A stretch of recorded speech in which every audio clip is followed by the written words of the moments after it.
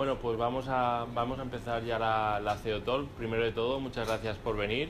Eh, como vosotros sabéis, eh, las CEO Talk son un evento organizado por Delvi, que Delvi es un despacho de, abogados especializado en eh, startups tecnológicas. Y este evento lo realizamos una vez al mes, en el cual invitamos a, a emprendedores, inversores de- del mundo de las startups, de las empresas tecnológicas, en el cual nos cuentan un poco pues, sus experiencias previas, sus consejos y demás. Eh, la, la charla será formato, formato entrevista, eh, preguntas-respuestas durante aproximadamente 40-45 minutos y una vez acabado abrimos el turno de preguntas en, en los cuales podéis hacer todas las preguntas que queráis a, a Luis. Y a partir de aquí el turno de preguntas 15-20 minutos y luego abriremos un espacio de networking que está patrocinado por Estrella en los cuales tenemos cerveza para beber. Dicho esto, eh, muchas gracias por venir, Luis. Gracias. Eh, Vosotros, uy, quizá, quizá mejor sin micro, ¿no? ¿Sí?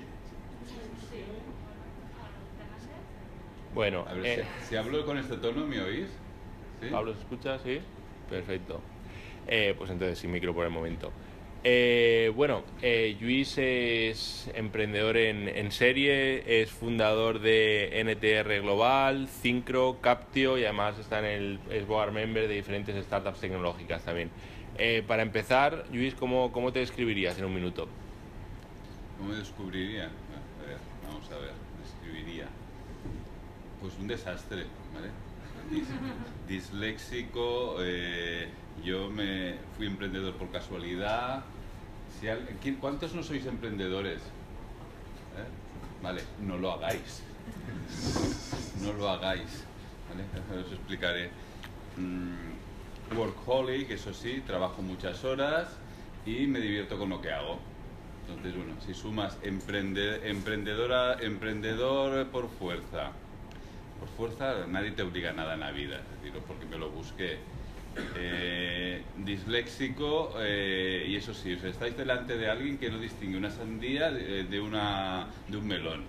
Y además lo, lo lo digo literalmente, o de izquierda a derecha, pero eso ya es más normal que le meto muchísimas horas, pero que me apasiona lo que hago, pues entonces a veces salen las cosas bien. Es decir, si te gusta lo que haces, metes muchas horas, te apasiona la tecnología, aunque no tengas las mejores condiciones del mundo, eh, bueno, pueden salir las cosas.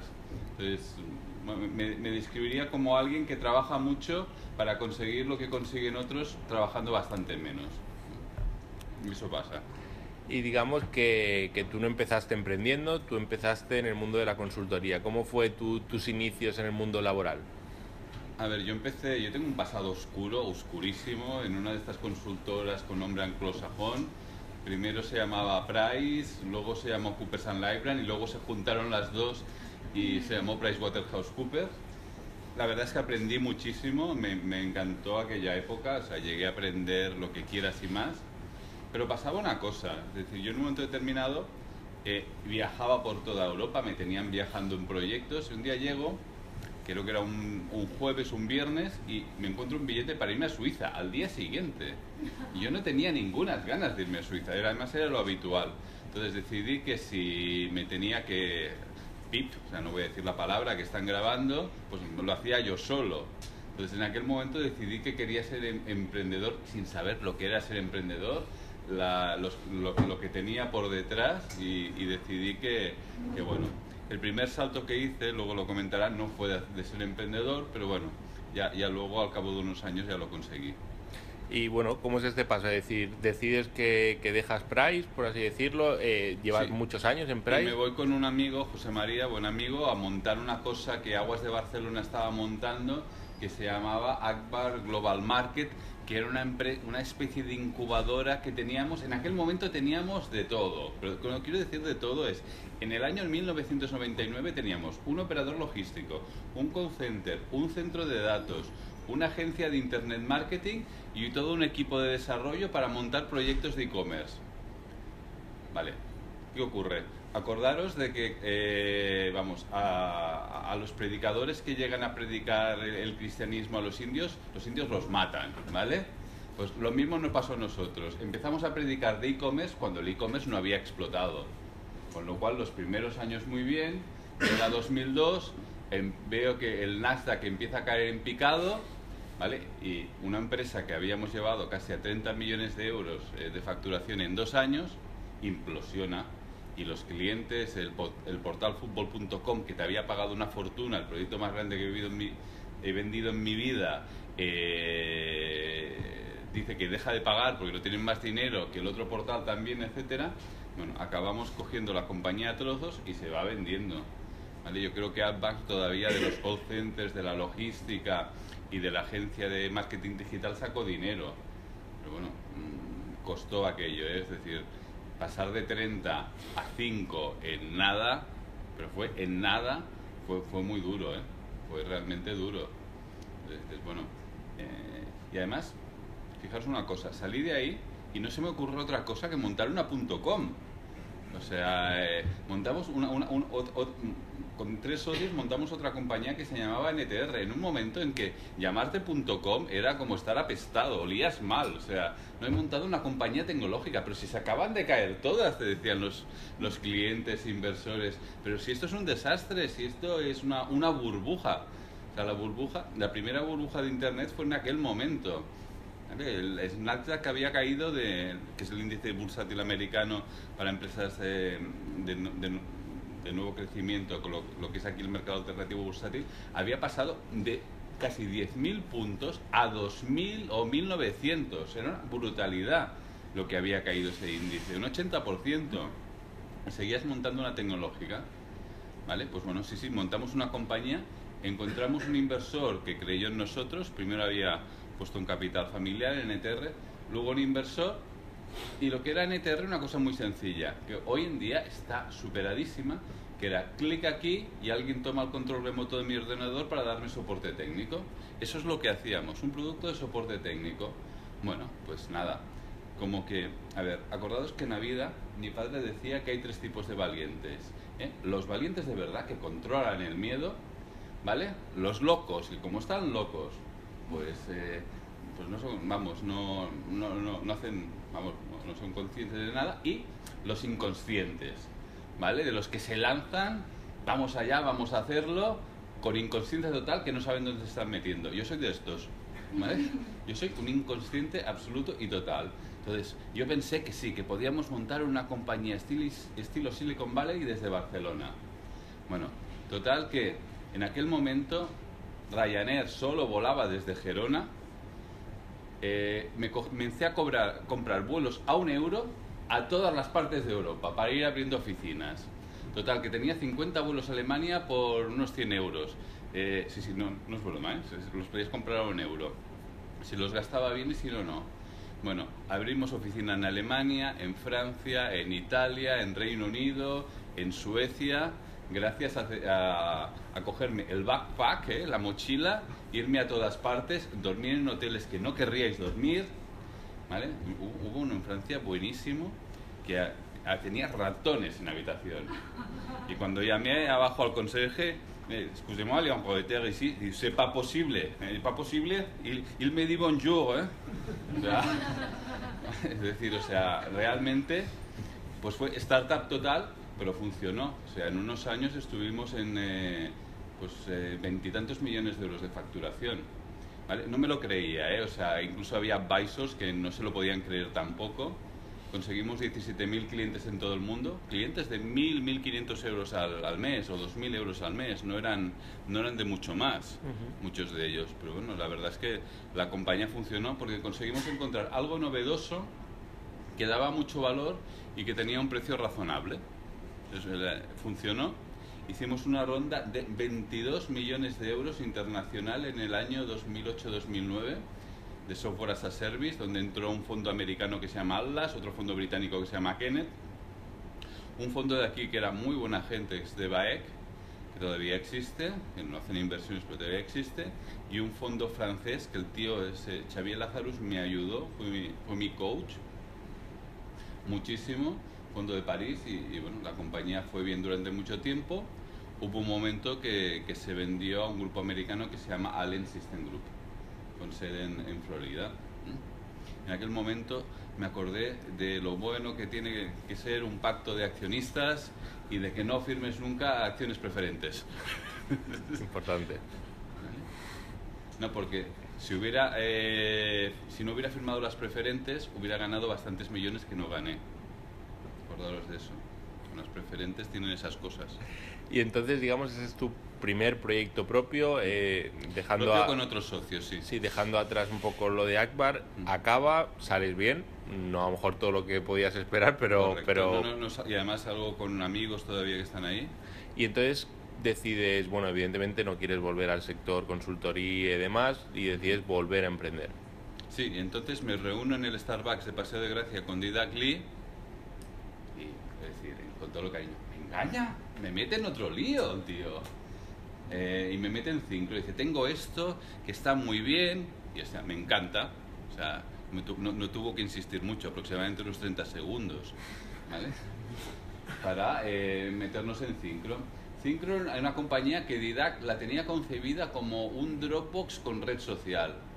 Y digo, tú estás loco, pero me gusta. ¿vale? Es decir, solo a Didac se le ocurre meterle a un Dropbox una red social. Y la verdad es que le funcionó. Resulta que esto, que Didac no tenía ni idea que eso es- cómo se llamaba, al cabo de un tiempo se llamaba red social corporativa. Y Microsoft, al cabo de un año o dos, acabó pagando un billón de dólares americanos por una compañía que se llamaba Yammer. Con lo cual nos metió en un sector eh, de estos que, que eran un cohete.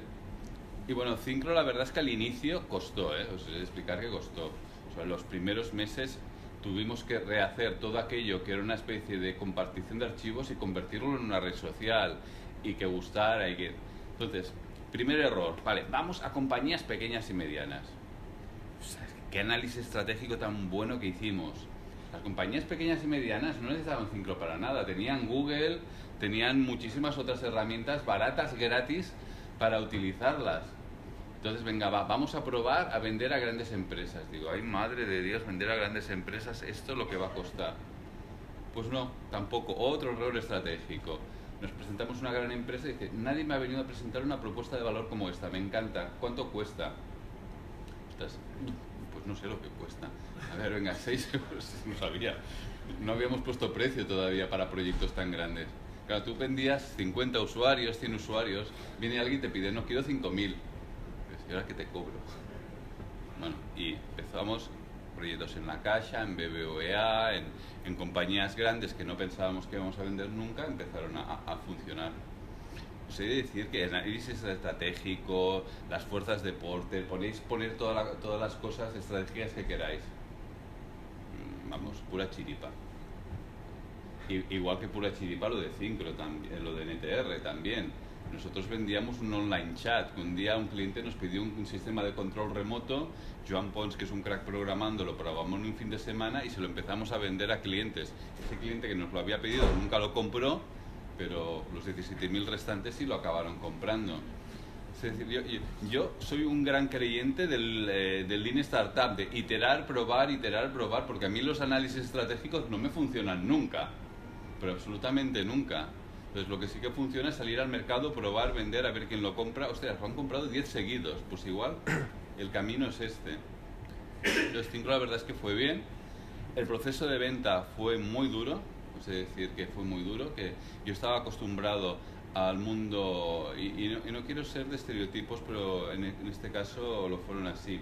Yo estoy acostumbrado al mundo, estaba acostumbrado al mundo anglosajón, donde un inglés te decía, vengo a las 5 o'clock y venía a las 5 o'clock, te invertiré el día 27 de septiembre, te y te invertía el día 27 de septiembre, eh, acostumbrado a trabajar con, con gente del norte de Europa, la verdad es que las cosas se cumplían. Bueno, pues empecé a trabajar con mexicanos que no cumplían ni una ni cumplieron ni una. ¿Vale? Y eso para mí fue muy duro, quedar mal con mucha gente que le había prometido cosas basadas en lo que otros me pedían y un proceso de, de- venta de compañía que tenía que tardar eh, dos meses, tardó dos años. Tardamos dos años por incumplimientos que luego me di cuenta que eran totalmente culturales y que el que me había metido la pata era yo. En Latinoamérica, si tenéis que algún día hacer negocios, el negocio no está hecho hasta que tenéis el dinero en el banco, no hasta que está firmado el contrato. E- Es así. Entonces fue mi error, no el suyo. Ellos operaban de la forma que estaban acostumbrados a operar.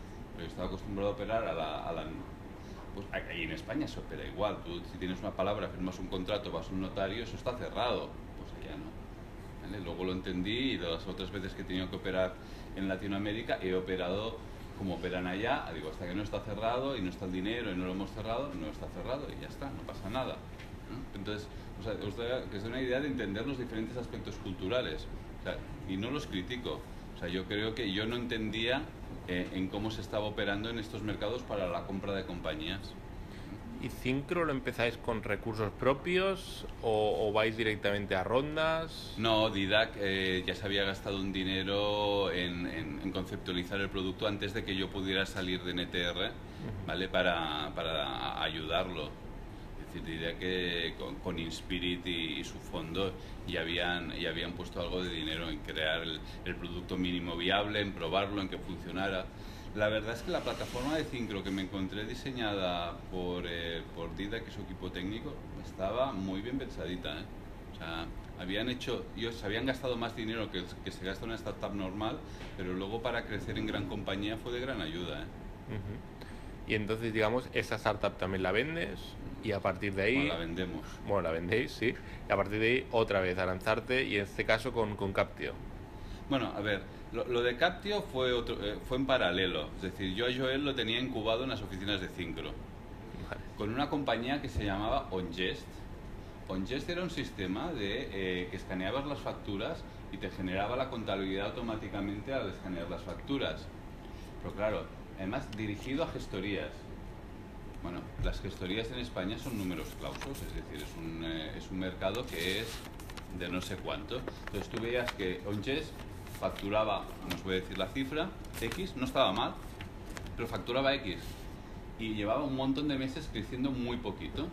Entonces un día Joel y yo nos sentamos, ¿vale? Y él me planteó una idea buenísima que era, no, vamos a hacerle una foto a los tickets y vamos a crear un sistema de, eh, para, generar, para generar los gastos. Digo, qué bueno, o sea, con lo que me con el follón que tenía yo cuando era consultor cada mes con los tickets, rellenar la hoja, buscar los tickets, sumarlos, no sé qué, para presentar la hoja de gastos, estas son grandes compañías, es un follón.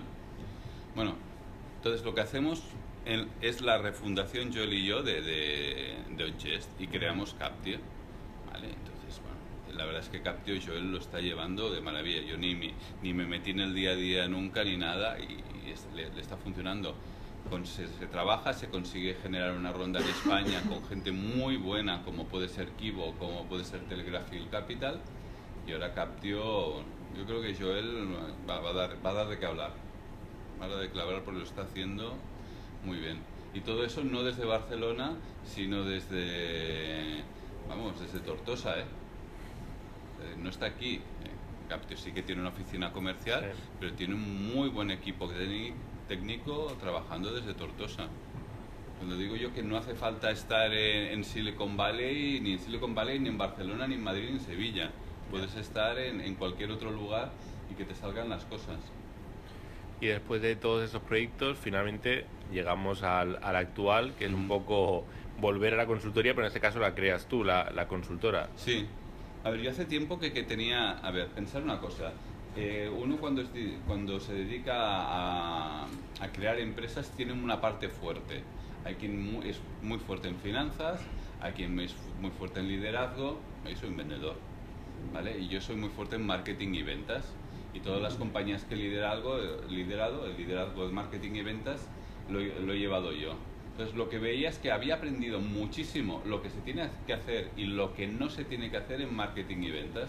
Entonces pensé en crear una consultora, ¿vale? Para ayudar a otras compañías a, déjame lo diga así, a ganar tiempo. Es decir, si tú eh, aplicas lo que yo he aprendido, puedes ganar entre dos y tres años. Y no, no, no hago broma, entre dos y tres años solo en ventas, porque te vas a ahorrar un montón de errores que ya he cometido. Y además las técnicas de ventas han cambiado en los últimos años.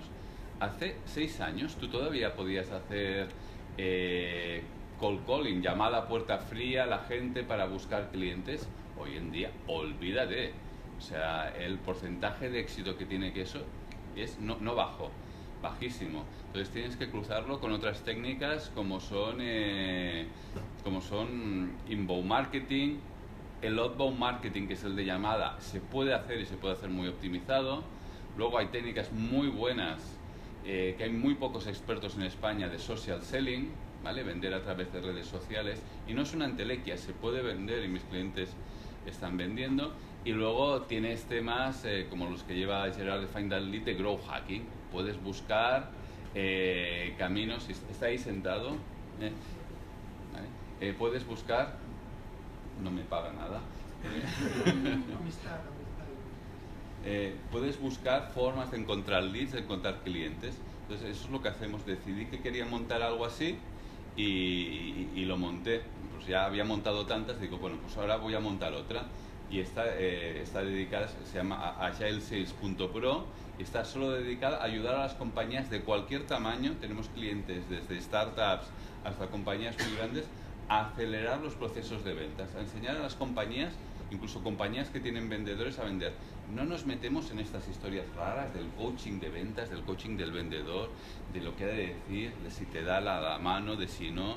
¿Vale? Acordaros una cosa. Voy a usar a Ernest, que es amigo mío. Ernest, dame la mano. Este vendedor que hace así, sonríe, eh, con está muerto. ¿Vale? ¿Vale? O sea, hay cosas que, que la gente ya no queremos. No queremos que nos engañen. Entonces, eh, lo que queremos es que nos expliquen bien las cosas y tomar las decisiones por nosotros mismos. Entonces, eso es lo, un poco lo que yo me encuentro con grandes compañías que están eh, todavía vendiendo como hace 40 años. Y dices que no vendemos. Digo, no me extraña. No me extraña. O startups muy tecnológicas que tienen un producto magnífico que nadie conoce. Y suele ser el caso, ¿eh? O sea, tú te encuentras a compañías que han creado un producto estupendo y dices, ¿y ahora qué hago? Pues ahora venderlo. ¿Y cómo? eso, es lo, que hacemos. Y por otro lado, eh, bueno, como no podía llevar una sola cosa a la vez, con otros socios he montado un, un fondo, llamémoslo fondo, pero no es un fondo, ¿eh? que se llama eh, Lean Investment, que lo que hacemos es invertir con un formato de crédito en compañías, de startups que, que, nos gusten. Buscamos eh, varios conceptos. ¿eh? Una, que nos guste el equipo. Por mi experiencia, el equipo es una de las claves. Es decir, te puede gustar mucho el producto, pero como no te gusta el equipo, no vamos bien. Y además el equipo es una de las claves porque acordaos lo que os he dicho antes. Yo creo que muchas veces van a tener que pivotar. Si tú tienes un equipo bueno, flexible, que va buscando el camino, probablemente, por muy malo que sea el producto inicial, eh, al final van a acabar teniendo éxito porque encontrarán algún camino para tener éxito. Entonces eso es fundamental. Y encima tiene que ser gente pues, que tú busques que sea comprometida pero que no esté loca, ¿vale? O si porque encuentras emprendedores comprometidos que dices, uff, madre, madre de Dios aquí que follón se va a montar porque me está cambiando la empresa cada cinco minutos. Y también ese compromiso no tiene que, no tiene que ser paranoico, ser un compromiso gente con experiencia, que ha hecho cosas, entonces buscas una serie de cosas. Luego buscas que haya coinversores, por lo menos nosotros. Nosotros no queremos invertir solos, somos un crédito, pues buscamos que haya algún otro coinversor que también haya gustado el proyecto, que lo haya visto. Y por último, obviamente, pero que es lo que conocemos, tanto Pablo Martín, mi socio, que es el presidente de una compañía que se llama Icertis, como José María, que Ernest conoce, de la época de AGM, como, como mis otros socios, proyectos tecnológicos. yo no me voy a meter en algo de biotecnología que no tengo ni idea. Puede ser que esa molécula cure no sé qué tipo de cáncer, me parecerá fantástico. Igual invierto yo a nivel personal, pero lo que no voy a hacer es eh, aconsejar a otros que inviertan en algo que no sé. Son proyectos tecnológicos, principalmente, no digo que no hagamos ninguna excepción, vinculados con el software. Sí que es verdad que tengo una inversión divertidísima y buenísima, que es una empresa de drones. De drones se llama IMAP y es una compañía que eh, trata los drones de forma eh, profesional, es decir, no hacemos drones para uso lúdico, sino que lo que hacemos es inspeccionar líneas de alta tensión, ¿vale? Para ver si hay problemas. ¿Cómo se inspeccionaba hasta ahora una línea de alta tensión?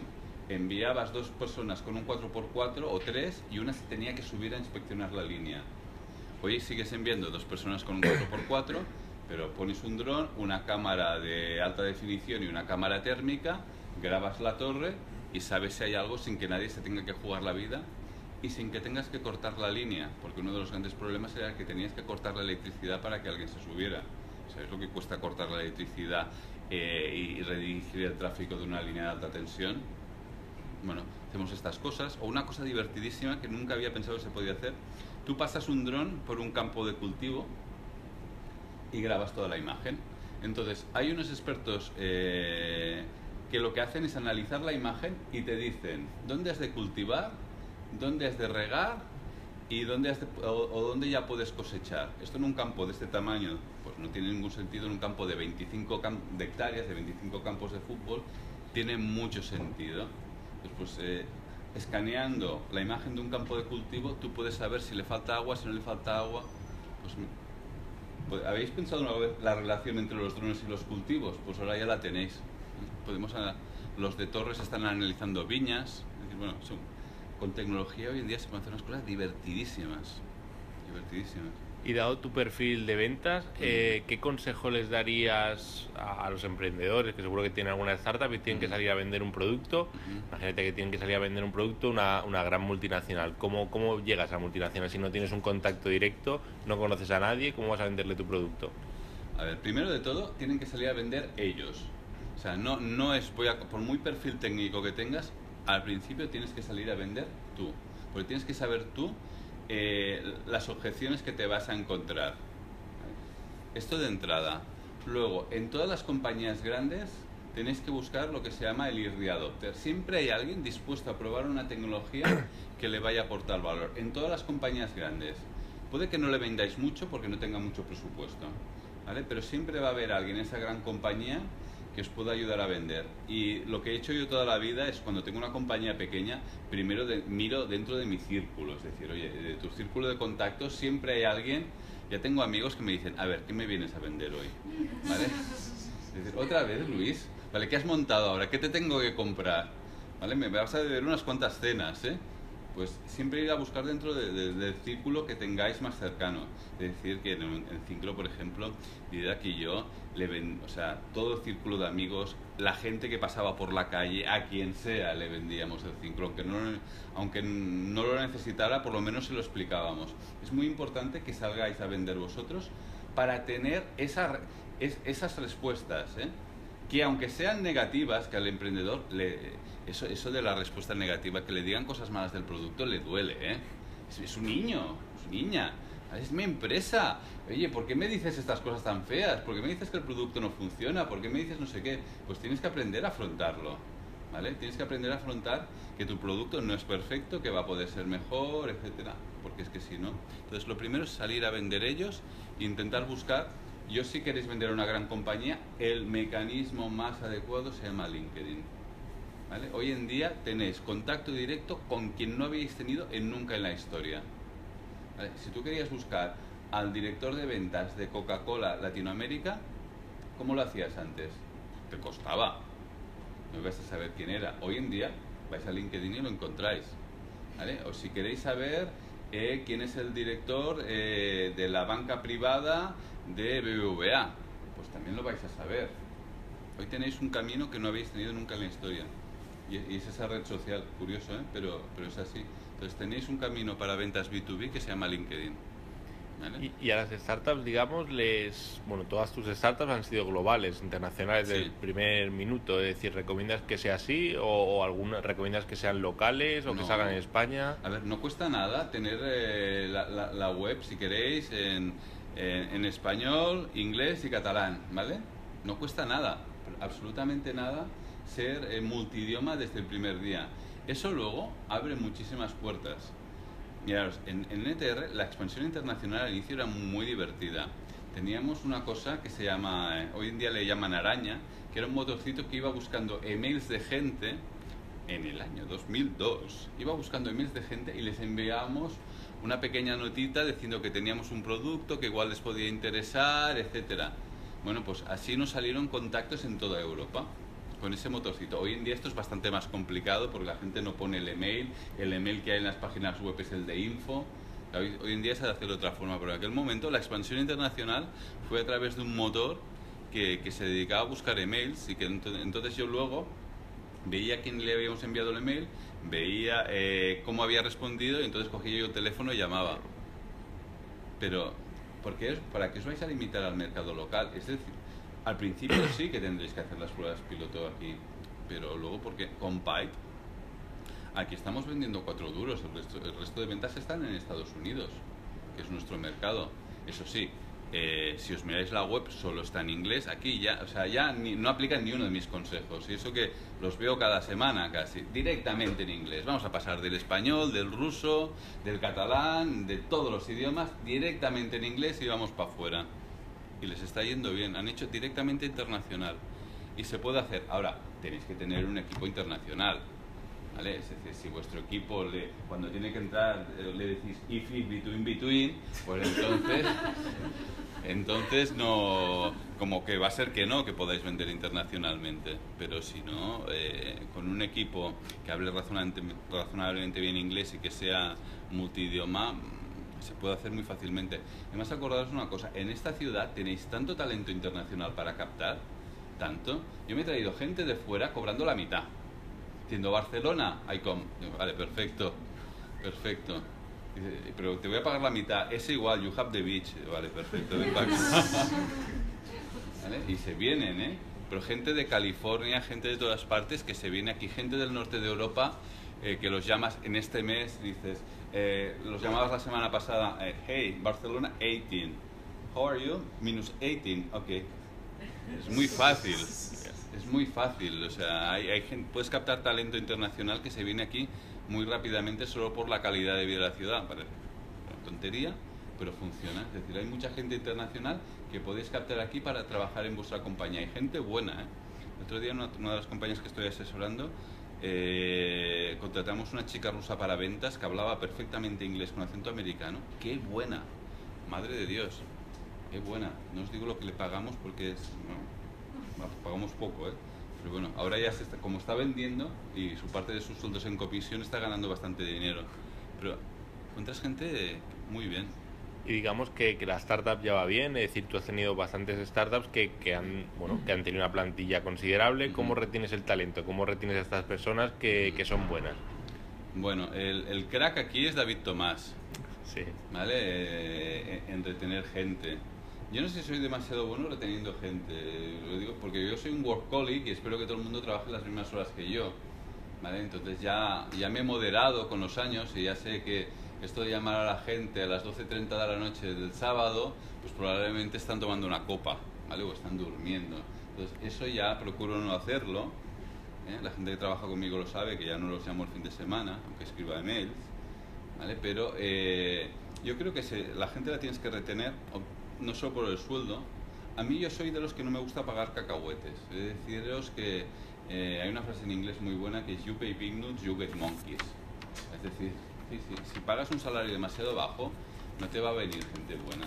Entonces intento pagar un salario que sea razonable, pero que la gente se pueda ganar el dinero con cosas variables. Es decir, oye, tienes un salario que está bien, pero yo no quiero que tú tengas un salario que esté bien. Yo quiero que tú quieras eh, ganar mucho dinero. A mí me gusta la gente que quiere ganar mucho dinero porque es la gente que más dinero me ha hecho ganar en la vida. Entonces yo quiero gente que quiera ganar pasta. es una de las cosas. Entonces, si ya consigo este perfil, ya está bien.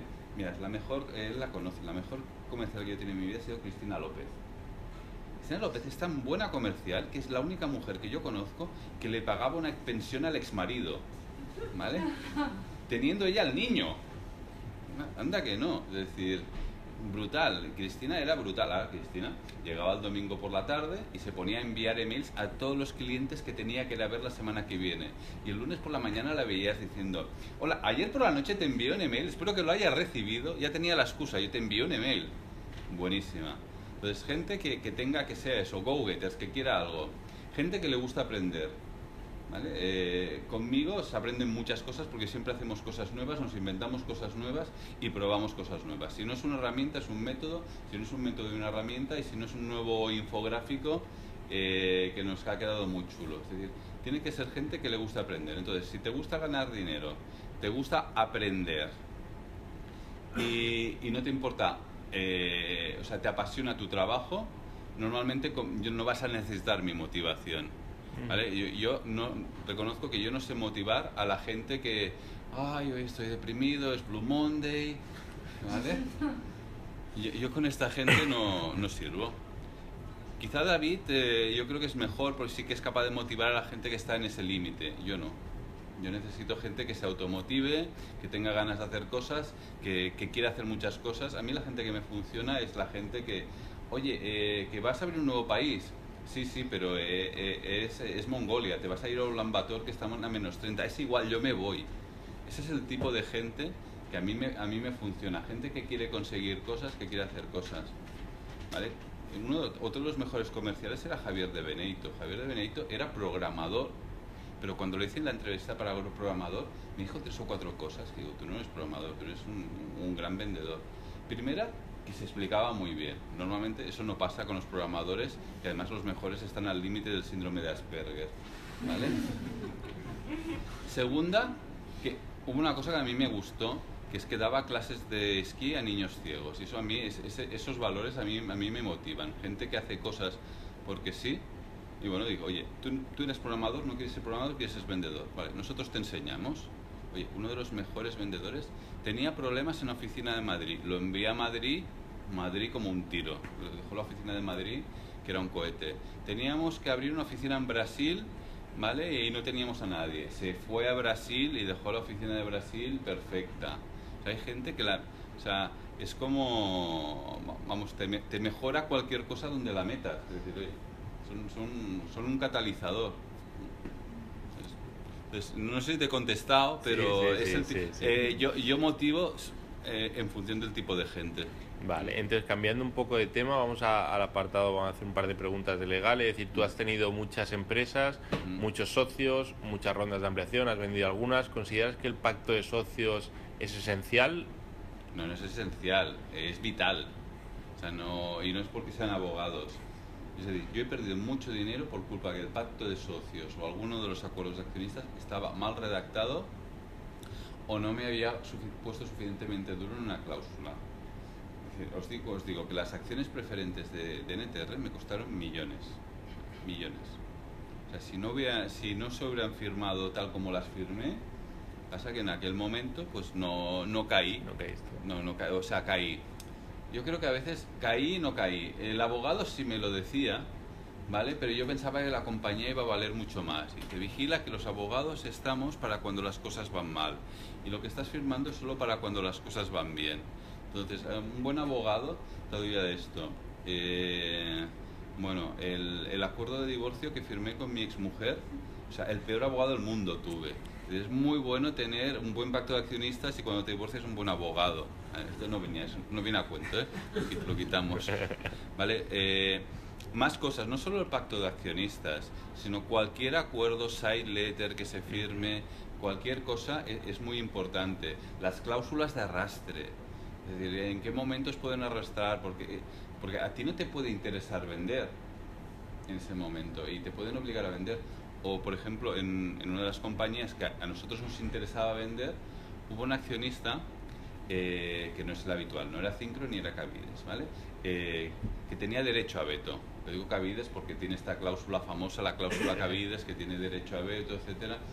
Pero bueno, visto cómo invierte, Cavides, que todo le sale bien, tampoco me parece mal que tenga derecho a veto porque seguramente tiene más olfato que yo. ¿vale?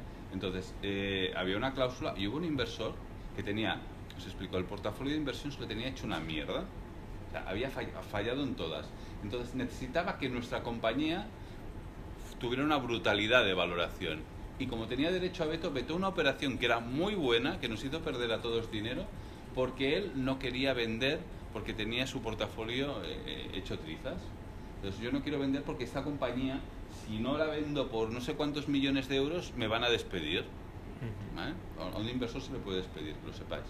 Entonces, eh, pues al, haber firmado un acuerdo mal en su momento, darle derecho de veto a este señor y no haberte puesto suficientemente fuerte, pues eh, conseguimos que la compañía cuando la vendimos valiera menos. Y a este señor ya lo habían despedido. Ah, vigilar pues, es muy importante.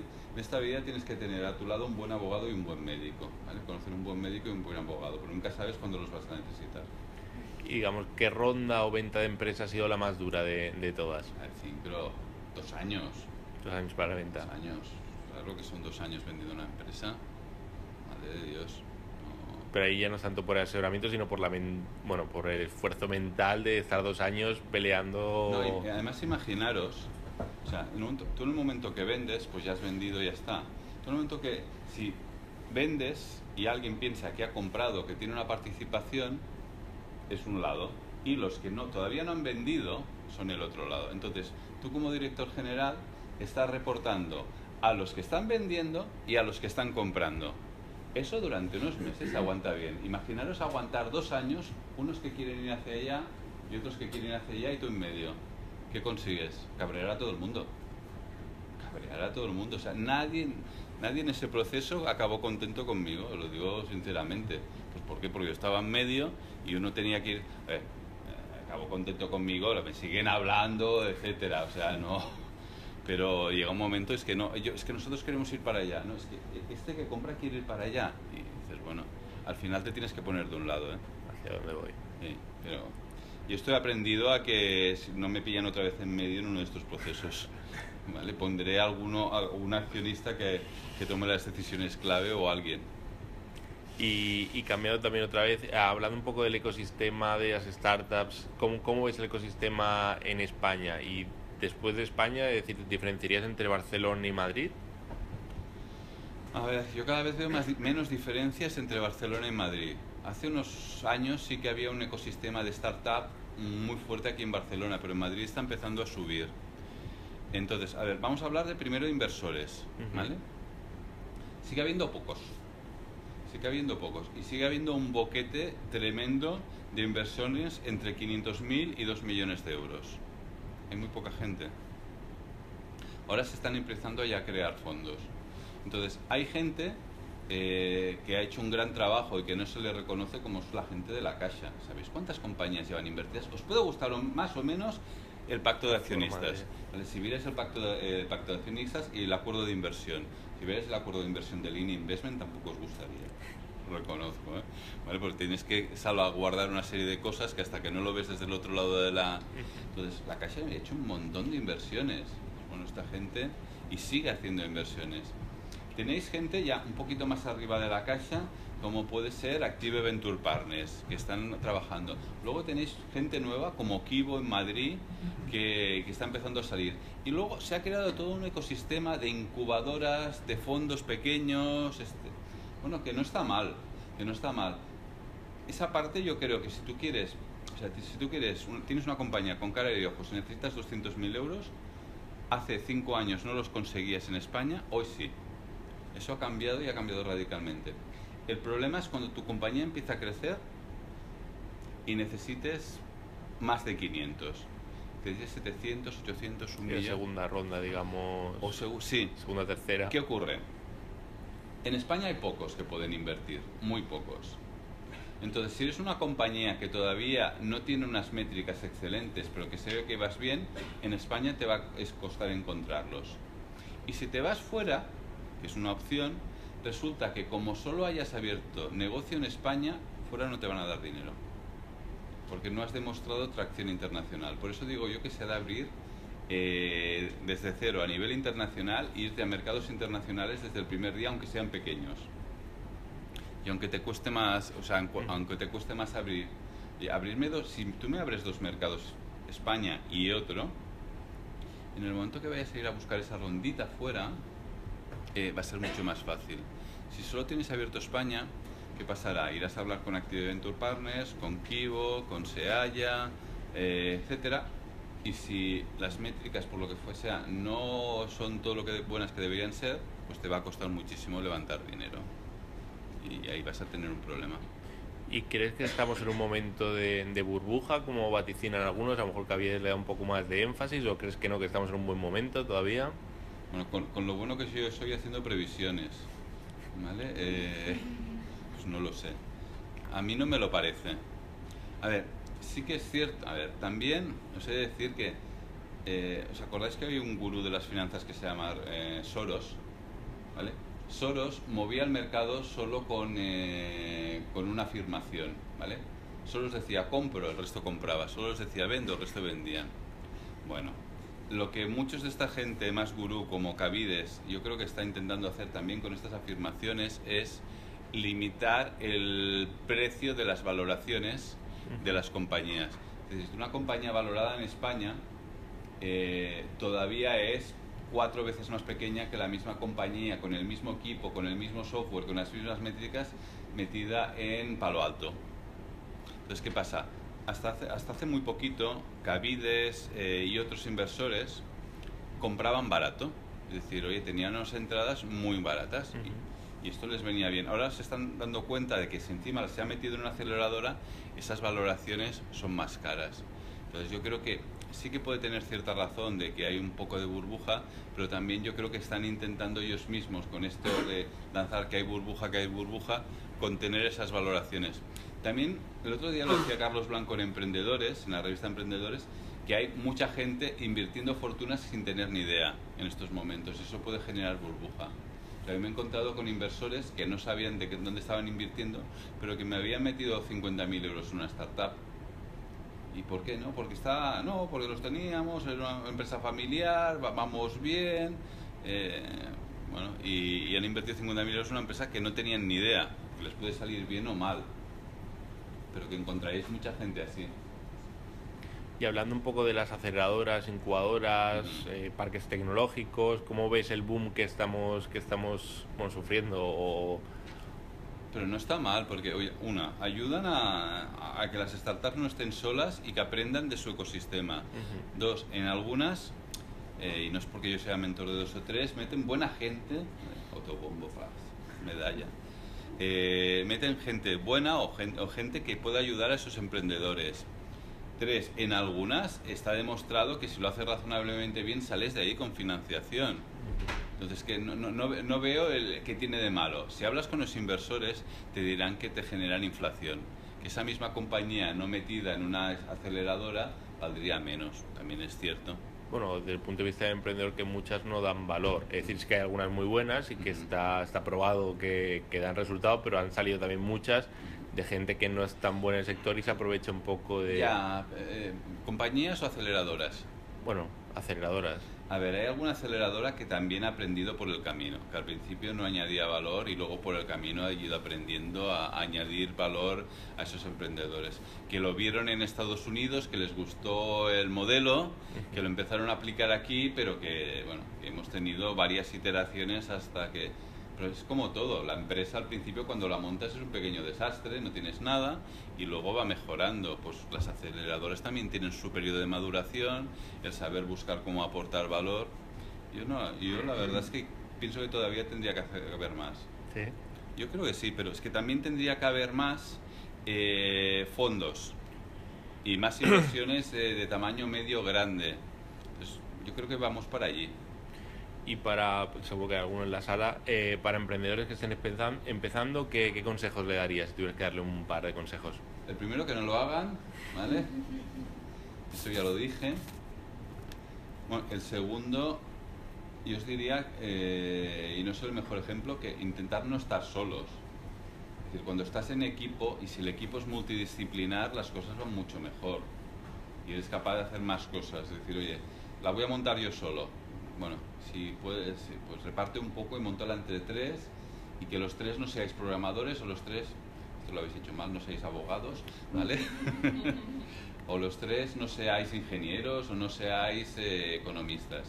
Buscar un poco que, que cada uno sepa de un lado o de otro.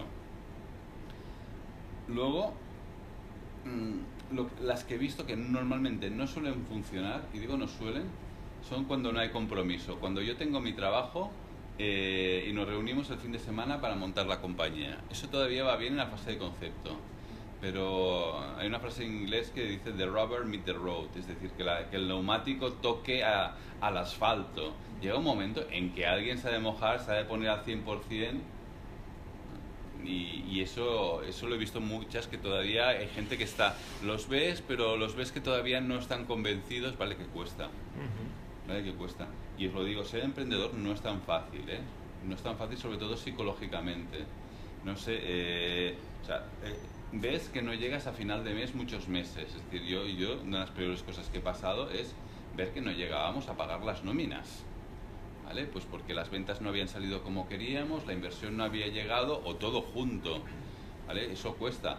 O ver eh, empre- emprendedores que han metido sus casas, sus ahorros, etcétera, ostras, lo van a perder todo. O sea, este tipo de lo más, o sea, ac- acordaos una cosa, antes de va- valorar si vais a ser emprendedores o no, pensar si tenéis la fortaleza mental para ello. No todo el mundo la tiene. ¿eh? O tienes que tener, o sea, para ser emprendedor hace falta mucha fortaleza mental. Tener que estar, o sea, tener capacidad de sufrimiento y sobre todo eh, hay una cosa que me, choca mucho, que, que, la dice un personaje, que no tenéis por qué estar de acuerdo, que es, eh, Ronald P. Hubbard, que es el fundador de la, de la Iglesia de la Cienciología, y dice que tienes que ser descerebrado, ¿vale? que tienes que despreocuparte. Yo los mejores emprendedores que he visto, cuando la situación era crítica, los veías tan tranquilos, ¿vale? Luego probablemente la procesión iba por dentro, pero era gente que sabía mantener la calma en situaciones críticas y que sacaba las cosas adelante. Entonces, si, sois capaces de mantener esa calma y no volveros histéricos como me volvía yo en algún momento determinado, eh, podéis ser emprendedores. Y eso creo que es el primer paso que tenéis que dar. Valorar si estáis capacitados internamente y mentalmente para ser emprendedores. No todo el mundo puede, ¿eh? No todo el mundo tiene esa capacidad de sufrimiento y esa capacidad de, de bueno, de valorar la incertidumbre. Si sois gente que la incertidumbre os pone nerviosos, pues a mí me pone nervioso no sé qué hago aquí, ¿vale? Eh, pues eh, valorar, valorar si tenéis esa capacidad de hacerlo. Si veis que sois capaces o veis que tenéis las ganas o simplemente os importa tres pepinos porque todavía tenéis o una mujer que trabaja o, una, un hombre que trabaja y que os va a poder mantener y vosotros vais a poder apostar por ello, apostar.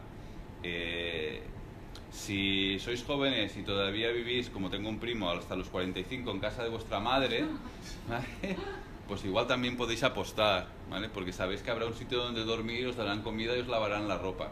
Cabrón. Ni, la ropa se lava con 45. ¿eh? Eh, bueno, pues si tenéis alguna de esas palancas, bien. Ahora, claro, yo creo que al emprendedor que más, eh, más le merece es el que tiene dos hijos, que se lanza a emprender, que su mujer eh, no trabaja o su marido no trabaja y tiene un salario o tiene un salario mínimo y se lanza a emprender. Ese es el que realmente dice, uff, you, you, have the, you have the guts, eh, tú, tienes, tú tienes los redaños para, para salir. Valorar eso, sí, ese es el primer balance que la gente no hace. La gente valora proyecto, valora no sé qué, se piensa que se va a convertir millonaria, etcétera. Oye, yo llevo tres y no me he hecho millonario, ¿vale? Entre, las, eh, entre los acuerdos de accionistas más redactados, Hacienda y, dos o tres cosillas más, no lo he conseguido, ¿vale? Entonces fijaros que he decidido no montar startups y ahora he montado una consultora, a ver si así me sale y una inversora por si acaso tener un pie en el otro lado para ver si así también lo consigo. Entonces, valorar esas cosas. El proyecto no lo es todo. Además, acordaros una, otra cosa que os quiero recordar. Si falláis, no pasa nada. ¿Por qué? Porque todo lo que habéis aprendido, a mí un inversor americano me lo enseñó esto. Dice, voy a invertir, un inversor americano bastante bueno me dice, mira, ahora voy a invertir en aquella compañía porque este chico ya ha fracasado dos veces ha aprendido tanto que más le he pedido, además he perdido dinero con él, me decía.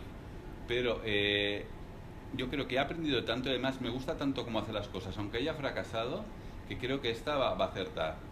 ¿Vale?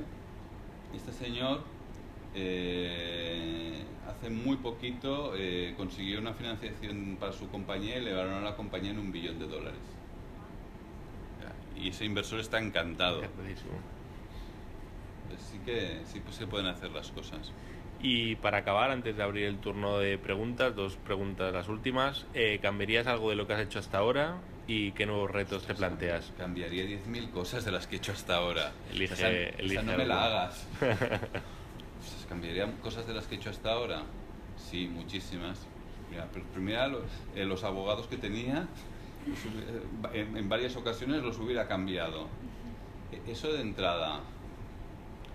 Dos, no sería tan inocente. Yo creo que uno de los principales problemas que he tenido en mi vida es que he sido demasiado buena persona. Una persona tonta. O sea, ¿sabes aquello de eh, cuando una chica dice, este, este, es muy buen chico, no vamos, a ningún sitio, ¿vale? O sea, no vamos a ningún sitio. ¿eh? Pues este es muy buen chico. Pues, eh, ligar no vamos a ligarlo. ¿Vale? Pues es, intentar ser buena persona y el tener mala conciencia de ciertas cosas me, ha, hundido a veces en la más absoluta miseria. El no ver que se me estaba avisando de que aquella persona estaba haciendo cosas mal, de que, eh, eh, confiar ciegamente. mira, eh, quizá porque me ha pasado ya varias veces. La confianza es buena, el control es mejor. ¿Vale? Sobre todo en una compañía. Yo puedo confiar mucho en la gente, pero siempre unos, unos puntos de control interno normales y corrientes, sin necesidad de la superauditoría, siempre son, son claves. Yo he tenido socios, bueno, empleados, o sea, yo he tenido un empleado que me ha pedido, oye, quiero ir allá a ver a los inversores porque además les puedo explicar no sé qué del nuevo producto. El tío, digo, oye, perfecto, tal, porque yo voy liadísimo, si vas tú a explicarlo. Bueno, el tío se presenta delante de los inversores diciendo que yo estaba haciendo las cosas fatal y que él tenía que ser el próximo director general de la compañía. ¿Vale? imagina si la confianza es buena. Entonces, entre una persona que confiaba, que no sé qué, dices, bueno, cuidado, sobre todo cuando la compañía se hace grande, que empieza a jugar la política y eso empiezan a apuñalar. O socios, sí, sí, y a mí no me gusta la política, entonces, o socios que decías, hostia, qué bueno, que no sé qué, es que la compañía se hace grande, grande, grande, y, que empieza a querer eh, o tus acciones o tu puesto. Entonces, ir con cuidado con los Entonces, ¿qué cambiaría? No ser tan confiado y no debería ser mala persona, pero no ser tan inocentón. ¿Vale? Eso, eso lo cambiaría. ¿Y los nuevos retos que te planteas? Bueno, tengo una compañía nueva que sigue siendo una startup, que va bien, que los clientes están contentos, afortunadamente. Entonces, el nuevo, mi nuevo reto es convertir esta compañía otra vez en una compañía internacional. ¿eh? Desde cero, sin grandes financiaciones. Ahora sí seguramente anunciaré la entrada de un buen socio y amigo y, y, vuelve a ser otro reto y me emociona, es decir, oye, venga, va, volvemos a empezar, volvemos... Me he pasado eh, eh, estas vacaciones de, de, Navidades que todos habréis hecho, o los emprendedores no, yo me las he pasado trabajando con un copywriter y trabajando con un desarrollador y diseñador web, preparando los nuevos servicios y la nueva página web. ¿Vale? ¿Por qué? Porque encontré dos volados que me dijeron el 23 de, o el 24 de diciembre, sí, sí, quiero trabajar estas vacaciones. Entonces, eh, los nuevos retos son, son divertidos, por lo menos yo me divierto. Sí, claro, y he de reconocer que yo me divierto haciendo lo que hago. No si no, no podría trabajar el número de horas que hago. Si yo estuviera puteado con lo que hago, que ya me ha pasado alguna vez en la vida, no tendría ningún sentido. O sea, estaría amargado, no estaría aquí hablando tan, tan tranquilamente. En cambio, si os tiene que gustar lo que hagáis. Entonces, los nuevos retos, yo me planteo hacer cosas, invertir en compañías interesantes y sobre todo llevar a Agile Sales lo más lejos posible como compañía. Que además hay una cosa que me emociona, que es diferente a las otras compañías. Yo cuando me meto en un cliente, me involucro con el cliente. O sea, yo cuando el cliente empieza a tener ventas, me sube la adrenalina. Y cuando veo que el tío está contento que vende, yo también estoy contento. Claro, e, eso es diferente, no me había pasado en las otras compañías. Cuando instalabas una red social corporativa y veías que la gente compartía, estás tan contenta.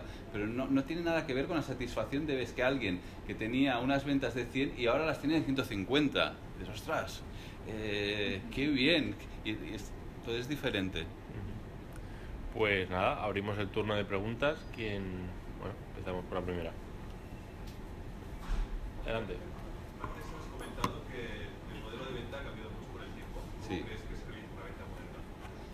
A ver, de entrada lo que te he explicado, o sea, el vendedor ha cambiado.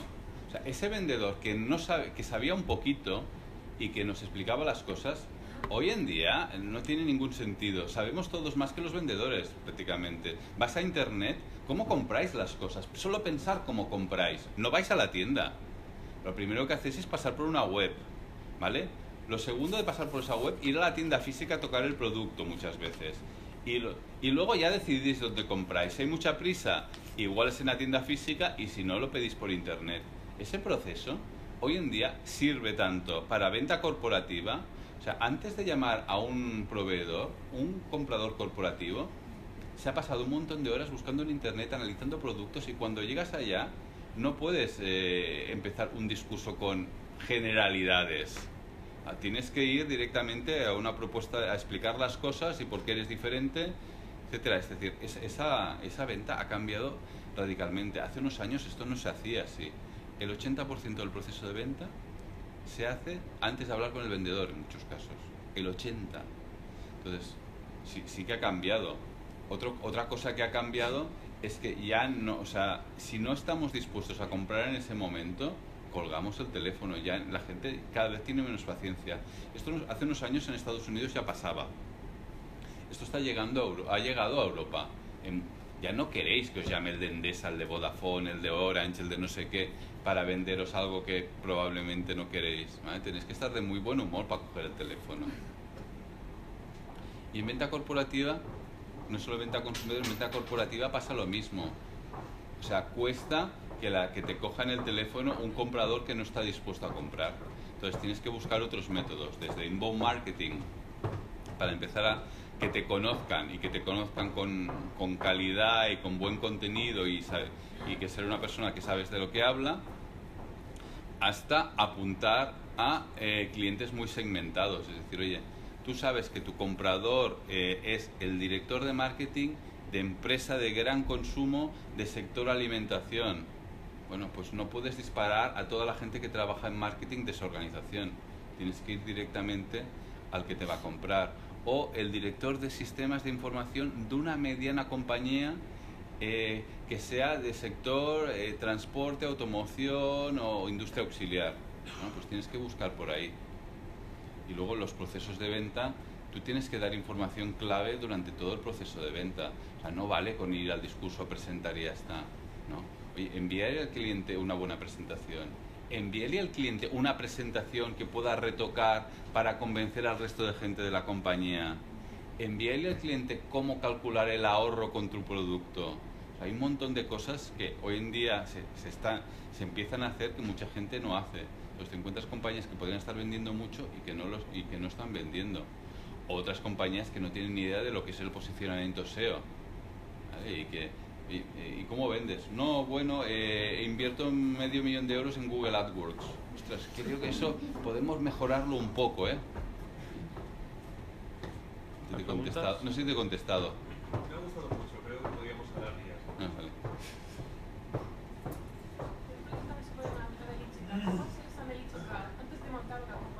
Sí. A ver, te cuento. Nosotros nos basamos en un método que es Agile, ¿vale? El método de Agile está basado en no analizar mucho e ir iterando cosas. Entonces sí que es verdad que cuando entramos en una compañía analizamos, pero lo primero que, buscamos es en ese análisis buscar ganancias rápidas, es decir, lo que se llaman quick wins. Es decir, oye, vamos a analizar rápidamente todo lo que haces, lo que podamos hacer rápido lo hacemos ya y con el resto lo iremos haciendo paso a paso. También es de decir que mm, no tenemos una varita mágica que lo sepamos todo. Hay cosas que te vamos a decir que vamos a, vamos a tener que hacer prueba y error. Eh, por ejemplo, una de las cosas clásicas que todo el mundo cree que yo sé hacer y, y, sé hacer parcialmente es enviar un email que la gente abra. ¿Vale? Eso Gerard sabe más que yo porque engaña a todo el mundo. ¿Vale? ¿Eh? A mí me engañó una vez. Pensé que me había enviado un email, me había enviado una de sus máquinas. Hacer un email que la gente abra sí que tiene una serie de normas, ¿vale? pero no son aplicables ni a todas las personas, ni a todos los mercados, ni a todos los productos. Con lo cual tienes que hacer lo que se llama A-B testings para probar cuáles funcionan mejor. ¿vale? O sea, hay gente que pretende, no, no, vamos a poner en marcha un sistema de email marketing, eh, fantástico, pero vamos a tener que hacer unas cuantas pruebecitas antes de que el sistema funcione de una forma razonable. Es decir, si hacemos un análisis, ¿qué analizamos? Pues analizamos quién es tu principal cliente, ¿Pensáis que es una tontería? Me he encontrado con gente que no sabía quién era su cliente. Y os cuento, eh, era una empresa grande donde tenía un cliente final que compraba el producto, pero resultaba que no se lo compraban a él directamente, se lo compraban una red de distribución. A quien tenía que venderle el producto era la red de distribución, no al cliente final. Pues anda que hasta que no llegamos a esto y conseguimos cambiar el discurso, bueno, una vez cambiado el discurso, 300% de incremento de ventas. Porque lo que conseguimos es que la red de distribución vendiera más, que es lo que no estaba ocurriendo. Entonces, claro, saber quién es el cliente es muy importante, que muchas veces no se sabe. ¿eh? se piensa que se sabe, pero empiezas a analizar y no. Luego, ¿cuáles son tus canales? Eh, ¿Cómo vas a llegar a ese cliente final? Mm, bueno, hay muchos caminos. Ahora está de moda el inbound marketing. Que sepáis que el inbound marketing, para que os dé resultados, entre 12 y 18 meses. Si tenéis dinero y contratáis a una de las buenas compañías que hay aquí en Barcelona para hacer inbound marketing, tardaréis mucho menos, eso es cierto. Pero para preparar presupuestos de 3.500 a 4.000 euros al mes, que probablemente no tenéis. ¿Vale? Porque empiezan a ser presupuestos de 60.000, 70.000 euros al año. Gastando eso sí funciona más rápido, pero si no, no. Luego, otra, otra cosa que la gente se piensa es que las redes sociales son maravillosas y, y cualquier cosa que yo comparto en redes sociales se va a vender. Mm, mm, mm. ¿Vale? Eso, que hay muchas agencias de, de marketing que yo le llamo teletubbies, ¿eh? ¿sabéis? Los teletubbies que se abrazan y todo el mundo es bueno y todo el mundo es maravilloso, ¿vale? Claro, luego al cliente, el primer día se abrazan todos y qué bonito es esto, al cabo de tres semanas que han, han movido no sé qué en Twitter, en LinkedIn, etcétera, y no ha llegado un puñetero cliente, entonces se acabó el amor, ¿eh? Se acabaron los, entonces eh, redes sociales, bueno, si hacemos este análisis, intentamos ver lo que puede funcionar y lo que no, probamos cosas, o sea, el análisis estratégico se basa en probar cosas, en probar caminos. Y luego otra cosa que muy poca gente hace que nosotros hacemos es combinamos canales. O sea, yo te puedo combinar inbound marketing, outbound marketing, social selling, venta puerta fría, llamada telefónica y, y cosas. Os explico una, un cliente que está probando esto, que es muy curioso. Hoy en día nadie te viene a vender a la empresa. Era un producto para empresas y lo que hicimos fue contratar dos comerciales que se iban a, las empresas sin cita previa a vender. Estamos vendiendo más que nunca porque la gente no está acostumbrada a que venga alguien a vender productos. No sé cuánto durará, ¿vale?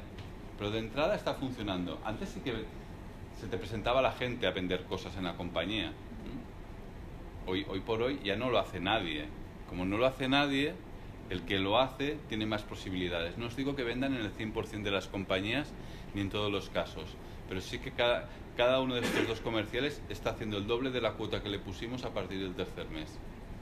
Era un producto bueno, bonito, atractivo, que a la que lo explican en recepción, la recepcionista dice, oye, pues esto tiene buena pinta, espera, que llamo al responsable y sí, sí, los atienden, aunque sea cinco minutos, y acaban, no en el momento, pero sí eh, acaban cerrando pedidos. Se ha de buscar cosas, hemos de ir a buscar también lo diferencial, lo que no hace todo el mundo, o hacer lo que hace todo el mundo un poco diferente. Me enrollo mucho, ya lo sé. No, no. ¿Más preguntas? Puedes hacer otras, sí, claro.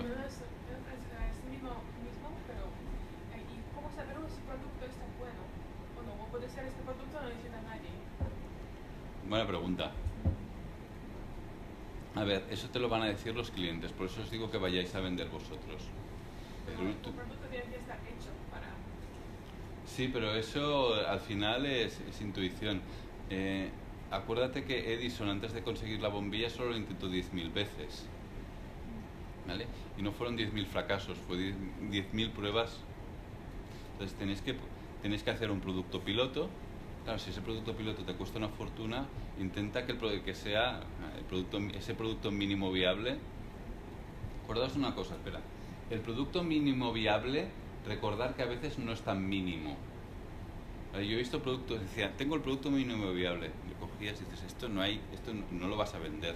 Esto no es, es mínimo sí es, pero viable, viable no lo es. Entonces, acordaros que a veces ese, ese producto que tú crees, yo, yo, siempre empezaba con un producto mínimo que yo creía que era suficiente, lo iba hacía dos iteraciones viéndolo con gente, me daba cuenta de que necesitaba 18 cosas más hasta que tenía un producto más o menos sólido. Entonces, intentar trabajar siempre en una forma que os permita cambios rápidos. ¿Vale? Probar, enseñar, trabajar con un conjunto de gente de confianza. ¿Qué quiere decir gente de confianza? Que no tenga miedo en deciros que eso es una mierda. Que si habéis hecho, es que más vale saberlo. O sea, yo a veces tengo la primera presentación de Agile Sales, la enseñó un amigo de una agencia de publicidad y me dice, vale, el concepto está muy bien, pero esta presentación, Luis, está muy mal hecha, ¿vale? Verdad, no soy diseñador, ¿vale? Y, luego también necesitan una parte de copywriter, es decir, hasta yo hago cosas mal, entonces, todo el mundo hace cosas mal. Entonces, mirar de, iterarlo lo más rápido posible pero necesitas un... Si, si no tienes nada que enseñar, Puedes trabajar con el concepto, puedes ir con un PowerPoint, presentarlo, hacer un focus group, lo que quieras, pero hasta que el producto no se toca físicamente, no se prueba, no empiezan a salir las, las miserias. ¿Más preguntas? Ah, quieren una cerveza todos. ¿Sí? Pues si no hay más preguntas, cerramos el turno de preguntas. Le damos muchas gracias a, a, por haber venido. por aguantarme. Y abrimos eh, bueno, el networking. Las cervezas están en la cocina, pero bueno, sin caso las traemos aquí y, y hacemos aquí el networking. Vale. Muchas gracias.